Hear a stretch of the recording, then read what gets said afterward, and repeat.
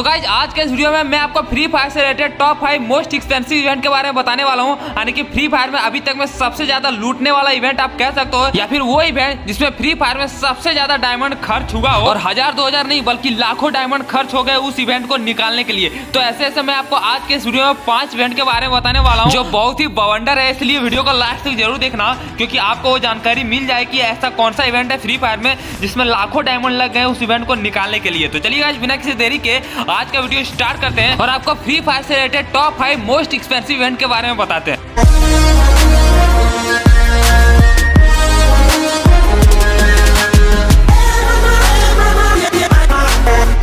पाँचवें नंबर पे जो इवेंट आता है, वो है इनक्यूबेटर का टॉप क्रिमिनल ठीक है? ये क्रिमिनल वाला जो इनक्यूबेटर आया था, ये तो उसमें सबसे ज़्यादा स्पिन होती थी, सबसे ज़्यादा डायमंड का। ऐसा तो जनरली 40 होता है लेकिन यहाँ पे आप देख सकते हैं साठ साठ का हो रहा है स्पिन ठीक है?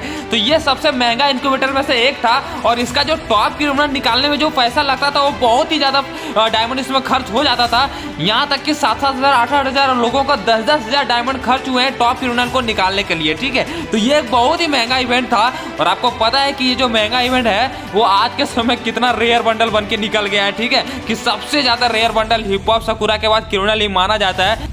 लेकिन यह उस समय का इतना महँगा इवेंट था कि बहुत ही कम बंदे ने क्रिमिनल बंडल निकाला और आपको पता है इसीलिए रेयर है क्योंकि बहुत ही कम बंदों के पास क्रिमिनल है। और इसका वजह है कि बहुत ही ज़्यादा पैसे लगते थे बहुत ही ज़्यादा डायमंड लगते थे ठीक है? तो ये बहुत ही महँगा इनक्यूबेटर में से एक था हमारे तो चौथे नंबर पे जो इवेंट आता है वो है टोकन टावर इवेंट ठीक है? और आपको पता है कि ये इवेंट में इतने सारे डायमंड खर्च होते हैं आपको शुरू के चार टोकन जल्दी निकल जाते हैं ठीक है? और सबसे टॉप वाले निकालने के लिए आपको पाँच टोकन की ज़रूरत होती है और वो पांचवा टोकन आपकी इतनी परेशान करती है आपकी इतनी लेती है ना कि क्या बताएँ मतलब आपको फट के हाथ में आ जाता होगा। इतना मतलब डायमंड वो लेता है ना, क्या ही बताएँ गाइस बहुत ही ज़्यादा डायमंड लेता है, ठीक है? मैंने भी स्पिन करा था, चौथा चौथा तो बहुत एकदम इजीली निकल जाता, लेकिन पांचवा निकलते निकलते भाई, बहुत ही ज़्यादा डायमंड खर्च हो जाता है। यहाँ तक कि दो तीन हज़ार, चार हज़ार तक का खर्च हो जाता है, ठीक है? और ऐसे ऐसे इवेंट निकालने के लिए आपको हाथ में कम से कम दो से तीन हज़ार डायमंड होना चाहिए, तभी ये निकलेंगे, ठीक है? तो इसलिए मैंने इसको चौथे नंबर पर रखा है, क्योंकि ये हमेशा आपको जो दो से तीन हज़ार या तो चार हज़ार तक का डायमंड आप ले सकते हैं, इसमें ले ही लेगा, ठीक है? और ये बहुत ही खतरनाक इवेंट में से एक है और टोकन टावर इवेंट में बहुत ही सारे इवेंट आ चुके हैं अभी तक। जैसे कि आप देख सकते हो, ये कोबरा भी आया था और पिछला एमोनेटेड सेवन का देखा है तो बहुत सारा इवेंट आता है और ये बहुत ही मतलब महँगा इवेंट में से एक बोल सकते हो फ्री फायर की।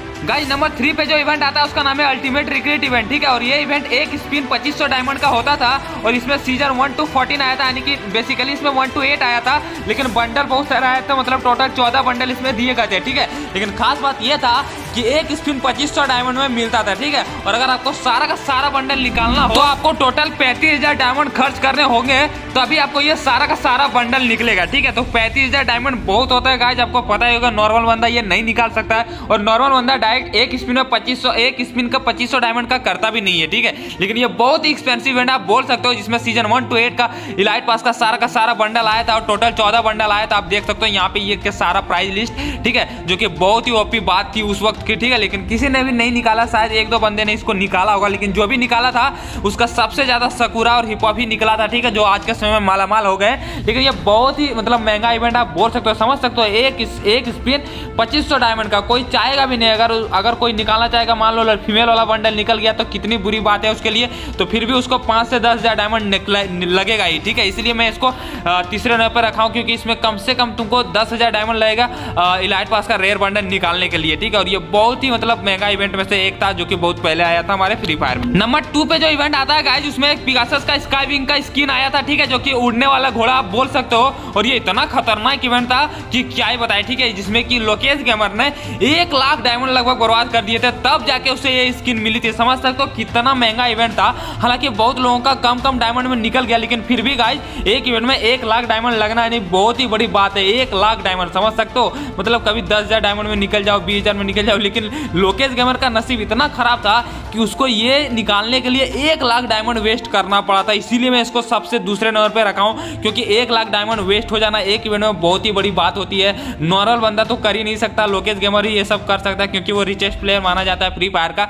तो वही एक लाख डायमंड बर्बाद कर सकता है। हम लोग एक हज़ार डायमंड अगर बर्बाद कर दे तो वही काफ़ी है भाई। तो लोकेश गेमर ने इस इवेंट के पीछे एक लाख डायमंड बर्बाद किया था, और बहुत सारे लोग का दस हज़ार, बीस हज़ार डायमंड भी लगा था इस स्काई विंग को निकालने के लिए, और दस हज़ार, बीस हज़ार यूट्यूबर ही कर सकते हैं, जो पार्टनर प्रोग्राम में है, ठीक है? तो वही लोग लोग को निकाला था। बाकी नॉर्मल बंदा एक हज़ार से ज़्यादा डायमंड स्पेंड नहीं कर रहे थे, उससे ज़्यादा लग रहा था इवेंट को छोड़ दे रहा था। तो ये बहुत ही महँगा इवेंट आप बोल सकते हो, जो की गर्ना ने इस पर बहुत ही ज़्यादा डायमंड लूटे number one guide number one पे जो इवेंट आता है, उसका नाम है दिवाली विश इवेंट और ये इवेंट इतना खतरनाक था कि अगर कोई बंदा अगर दस हज़ार डायमंड स्पेंड नहीं करता तो उसे कोई अच्छा आइटम मिलता ही नहीं, एकदम बेकार बेकार आइटम मिलता जो पहले से था। इसलिए इवेंट को मैं सबसे नंबर वन पर रखा, इसलिए क्योंकि आपको इसमें एक रेयर गन स्किन या फिर एक रेयर बंडल निकालने के लिए मैक्सिमम आपको मिनिमम आपको दस हज़ार डायमंड तो खर्च करना ही पड़ेंगे, उसके अलावा नहीं निकालता है। मतलब बहुत कम बंदे को, ठीक है? वन परसेंट को भले निकल जाए एक दो स्पिन में, लेकिन ज़्यादातर बंदे को कम से कम दस हज़ार डायमंड स्पिन करना पड़ता है, तभी जाके उसको अच्छा मिलता था, ठीक है? जिसमें कि बहुत बड़े बड़े यूट्यूबर जो पार्टनर प्रोग्राम में है, वो बहुत सारे डायमंड स्पेंड किए थे, बीस हज़ार, तीस हज़ार, पचास हज़ार करके।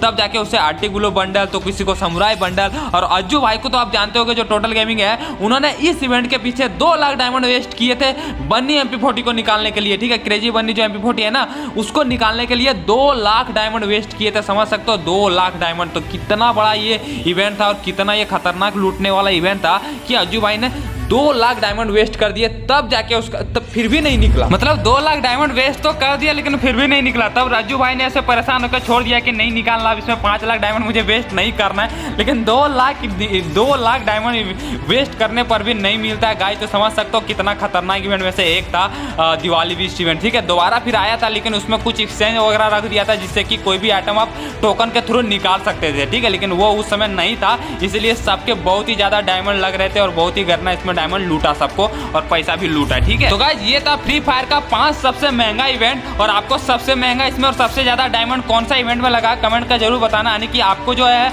अभी तक सबसे ज़्यादा जो डायमंड किसी भी इवेंट में लगा, वो कौन सा इवेंट में लगा? ये कमेंट बॉक्स में बताना ताकि हम भी जाने कि तुम लोग का मैक्सिमम डायमंड कितना खर्च हुआ है, ठीक है? और गाइज़ टॉप सेवेंटीन फैक्ट का प्ले भी मैंने डाल दिया डिस्क्रिप्शन में, उसको भी चेक कर लेना। और अगर आपको ये वीडियो अच्छी लगे तो वीडियो को लाइक ज़रूर करना और सब्सक्राइब भी कर देना, क्योंकि आपको इस चैनल पर ऐसे ही मज़ेदार मज़ेदार वीडियो देखने को मिलेगा। तो चलिए गाइज़ मिलते हैं नेक्स्ट वीडियो में। आज के लिए इतना ही। Till take care and bye